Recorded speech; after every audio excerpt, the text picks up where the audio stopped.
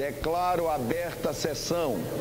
Uma hora de atraso e a sessão já começou com cinco questões de ordem apresentadas pelos senadores da base do governo. Um deles pedia que a sessão fosse suspensa até o Supremo Tribunal Federal decidir sobre o mandado de segurança apresentado pelo advogado-geral da União. José Eduardo Cardoso pediu que o Supremo anulasse o processo de impeachment, alegando desvio de poder do presidente afastado da Câmara, o deputado Eduardo Cunha. À uma da tarde, o ministro teorizou Zavascki negou o mandado de segurança. A essa altura, os primeiros senadores já discursavam. Quem fez, quem fará o senhor Michel Temer, presidente da República, é a sociedade civil brasileira que quer decência, quer eficiência, quer responsabilidade e quer patriotismo. Eles se espalharam no dia da votação. Tchau, querida. Botaram aqui, tchau, querida. Pois é, tchau, querida, tchau a democracia, tchau às urnas e tchau a falta de respeito à Constituição brasileira. De discurso em discurso, os senadores iam vencendo o tempo e cristalizando o resultado da votação que só viria mais tarde. Não houve acordo para reduzir os 15 minutos de fala de cada senador inscrito. A sessão foi suspensa duas vezes para os senadores descansarem.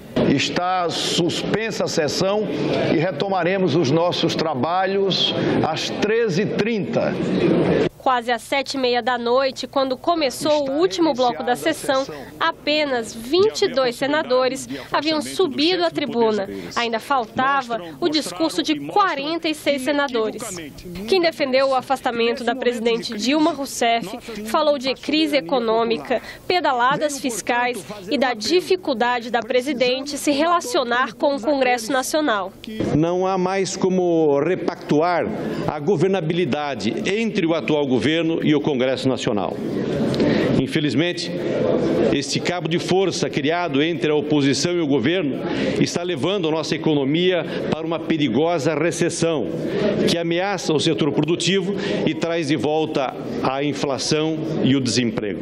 Os que tiveram a missão de defender o governo reforçaram que não há crime no pedido, lembraram dos avanços do governo do PT e chamaram o processo de golpe. Olhem nos meus olhos e me digam qual o governador que não deu pedalada, qual o prefeito que não deu pedalada, inclusive no meu estado. Se vale para um, por que não vale para o outro? Não dá para entender, não é sério. Houve também quem defendesse novas eleições, porque o modelo de coalizão estaria esgotado. Os responsáveis pela situação atual, ou seja, a presidente Dilma e o vice-presidente Temer, o PT e o PMDB, deveriam reconhecer que fracassaram e apoiar novas eleições. Os senadores também falaram dos planos de recuperação econômica já divulgados pela equipe de Temer. A primeira exigência que o PSDB fez no documento apresentado ao vice-presidente da República é que nós possamos cortar ministérios, reduzir drasticamente o número de cargos comissionados, diminuir o tamanho desse Estado pesado, perdulário, incapaz de servir com um mínimo de qualidade à população e introduzir meritocracia. Eles querem, nessa crise, jogar a conta para ser paga pelos mais pobres e pelos trabalhadores. Ah, Paulo Scaff da Fiesp, CPMF não. Você tem que mexer o quê? Nos benefícios previdenciários, na política de valorização do salário mínimo. E está aqui a ponte para o futuro. Armando Monteiro, que era ministro do Desenvolvimento de Dilma Rousseff, voltou ao Senado para votar e lembrou que o Congresso colaborou para a crise econômica. Eu destacaria, por exemplo, a, a pauta bomba, que ficou caracterizada como tal e que obrigou o governo da presidente Dilma a vetar uma série de projetos que foram aprovados no Congresso Nacional. Já eram quase seis horas da manhã quando chegou a vez do senador Anastasia defender o parecer que pediu prosseguimento do processo. O advogado-geral da União, José Eduardo Cardoso, acompanhou o discurso do senador mineiro, sentado ao lado do presidente do Senado. Na sua vez de ir à tribuna, José Eduardo Cardoso voltou a defender que não havia crime para afastar a presidente presidente Dilma Rousseff e que ela estaria passando por um julgamento puramente político. Quando o advogado-geral da União terminou o discurso, o plenário já estava lotado. 78 senadores esperavam para votar. O presidente Renan abriu a votação e, em dois minutos, estava definido o destino da presidente Dilma Rousseff. O parecer foi aprovado. 55 senadores votaram a favor da admissibilidade do processo de afastamento da presidente Dilma Rousseff.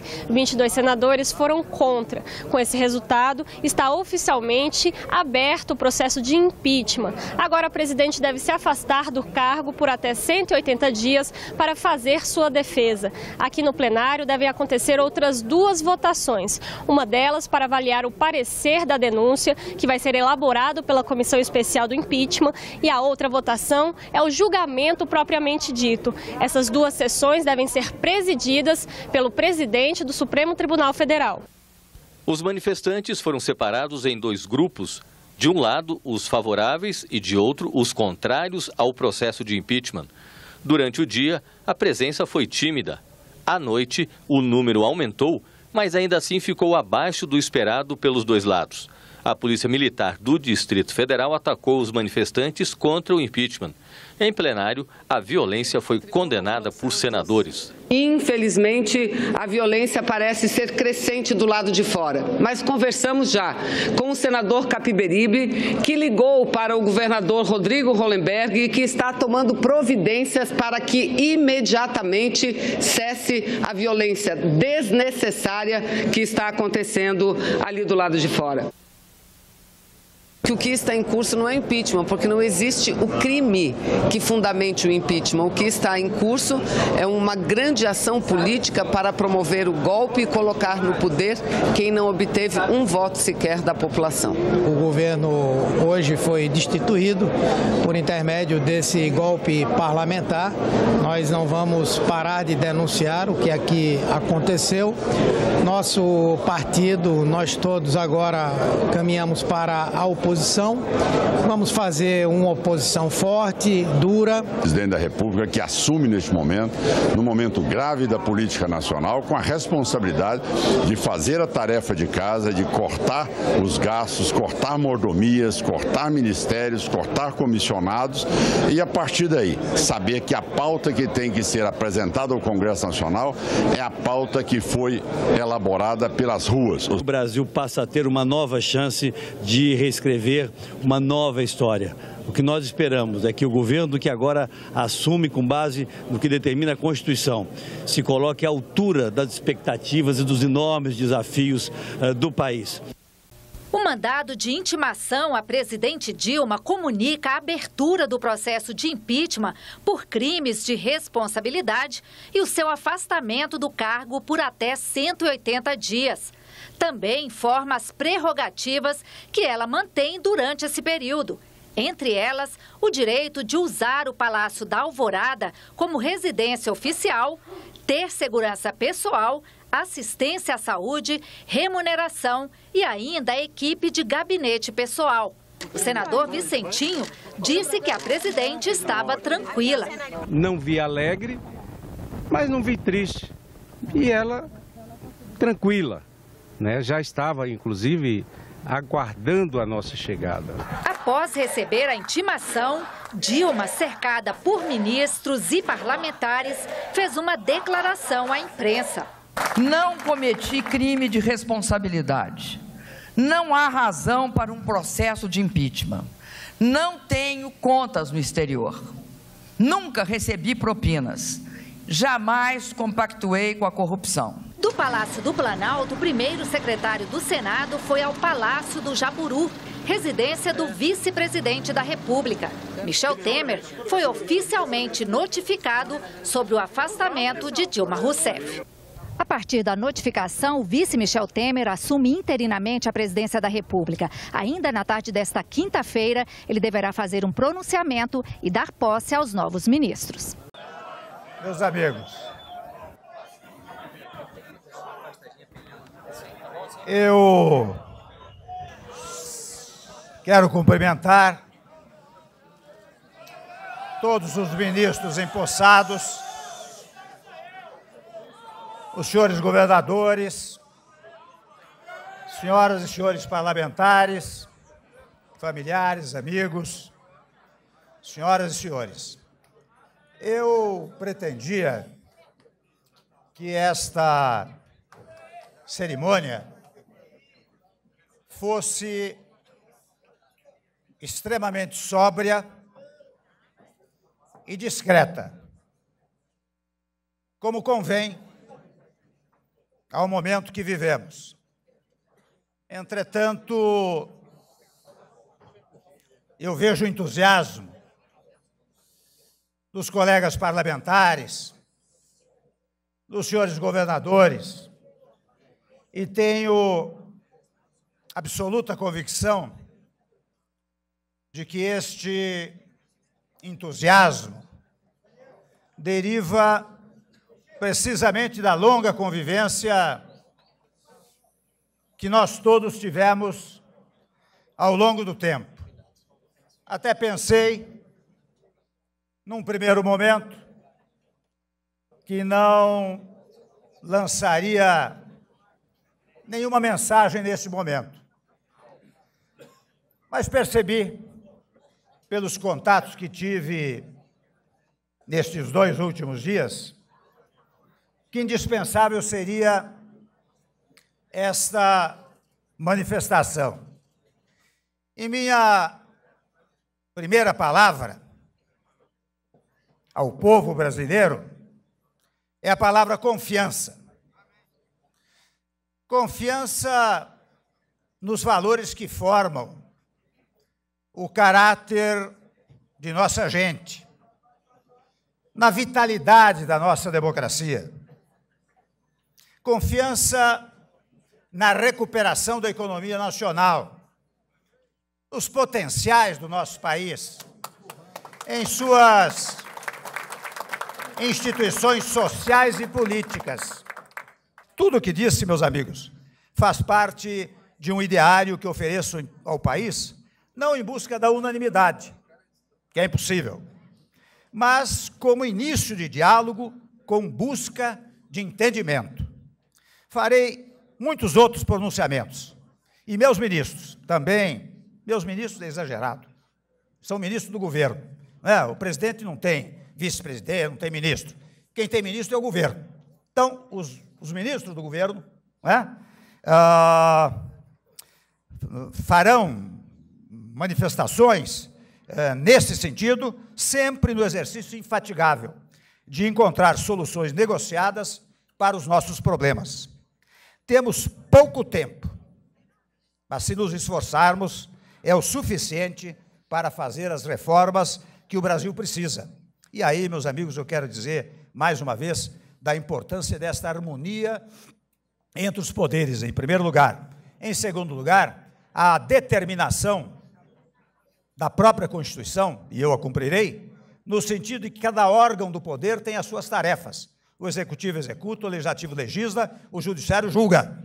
Ninguém pode interferir em um ou outro poder por uma razão singela. A Constituição diz, a Constituição diz que os poderes são independentes e harmônicos entre si. Ora bem, nós não somos os donos do poder, nós somos exercentes do poder. O poder está definido na Constituição, é do povo. Quando o povo cria o Estado, ele nos dá uma ordem. Olha aqui, vocês que vão ocupar os poderes, exerçam-no com harmonia, porque são órgãos exercentes de funções. Ora, quando há uma desarmonia, o que há é uma desobediência à soberania popular, portanto, há uma inconstitucionalidade. E isso nós não queremos jamais permitir que se pratique. Dizia aos senhores que a partir de agora nós não podemos mais falar em crise. Trabalharemos. Aliás, há pouco tempo eu passava por um posto de gasolina na Castelo Branco e o sujeito botou uma placa lá. Não, não, não fale em crise. Trabalhe. Eu quero ver até se consigo espalhar essa frase com 10, 20 milhões de outdoors por todo o Brasil, porque isto cria também um clima de eh, harmonia, de interesse, de, de, de de otimismo, não é verdade? Então, ah, ah, não vamos falar em crise, vamos trabalhar. O nosso lema, que não é um lema de hoje, o nosso lema é ordem e progresso. A expressão, a expressão da nossa bandeira não poderia ser mais atual como se hoje tivesse sido redigida. Finalmente, meus amigos, fundado num, critério de alta religiosidade, e vocês sabem que religião vem do latim religo, religare, portanto, você, quando é religioso, você está fazendo uma religação, e o que nós queremos fazer agora com o Brasil é um ato religioso, é um ato de religação de toda a sociedade brasileira com os valores fundamentais do nosso país. Por isso que eu peço a Deus que abençoe a todos nós. A mim, a minha equipe, aos congressistas, aos membros do Poder Judiciário e ao povo brasileiro para estarmos sempre à altura dos grandes desafios que temos pela frente. Meu muito obrigado e um bom Brasil para todos nós.